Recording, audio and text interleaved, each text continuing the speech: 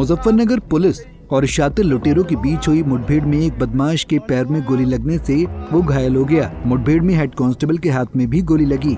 Police ने घायल लुटेरे और उसके एक साथी, फौजी सहित तीन बदमाशों को गिरफ़्तार किया है। पुलिस ने मौके से बाइक तमंचा और अन्य सामान बरामद किया है।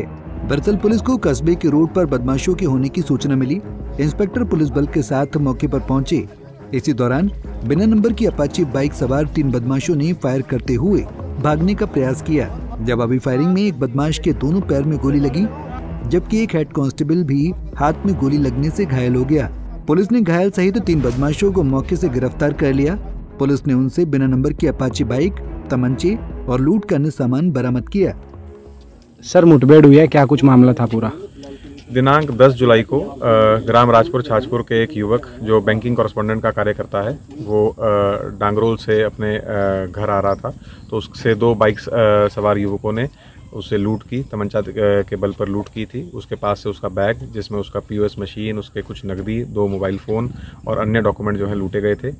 लगातार इसमें पुलिस टीम सीसीटीवी कैमराज और अन्य टेक्निकल एविडेंस एकत्रित कर कर रही थी।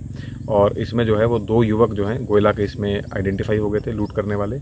आज मुखबिरों से सूचना मिल रही थी कि दो तीन वही बाइक सवार फिर से क्षेत्र में घूम रहे हैं और फिर से कोई लूट की घटना को अंजाम दे सकते हैं। यहाँ कस्बा बड़कदा रोड पर जब पुलिस द्वारा मुखबिर की सूचना पर चेकिंग लगाई गई तो उनके द्वारा पुलिस पर फायर किया गया। ईको के खेतों में छुप गए। पुलिस ने अपने आत्म बचाव में फायरिंग की। इसमें टोटल तीन अभियुक्त गिरफ़्तार हुए हैं, जिनमें एक पुलिस फायरिंग से घायल हुआ है। इनके पास से लूट की घटना में प्रयुक्त वाइट अपाचे मोटरसाइकिल बरामद हुई है। तीन तमंचे बरामद हुए हैं।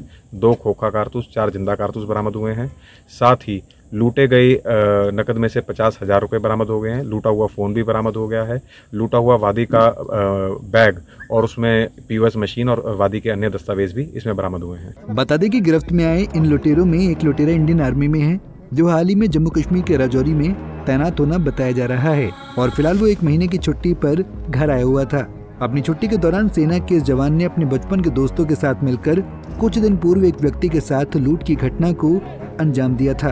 पंजाब केसरी टीवी के लिए मुजफ्फरनगर से अमित कुमार की रिपोर्ट। हमसे जुड़े रहने के लिए हमारे YouTube चैनल को सब्सक्राइब करें और नई वीडियो की नोटिफिकेशन के लिए बेल आइकॉन को दबाएँ। अगर आप ये वीडियो Facebook पर देख रहे हैं तो लाइक ज़रूर करें और ज़्यादा से ज़्यादा शेयर करें। धन्यवाद।